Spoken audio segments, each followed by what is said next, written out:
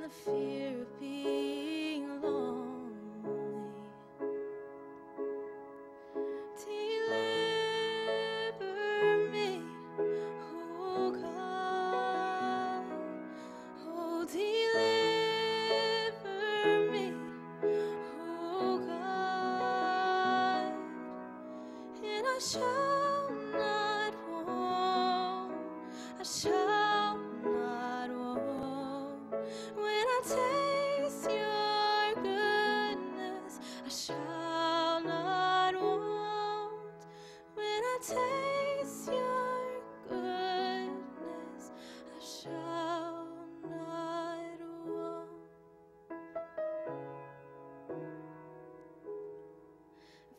Fear of serving others. Oh, and from the fear of death and trial. And from the fear of humility.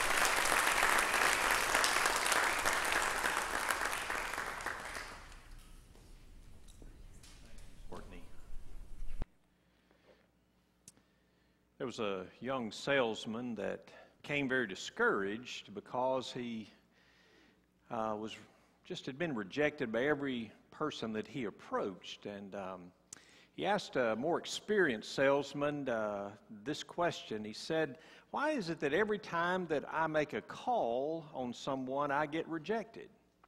Um, the older salesman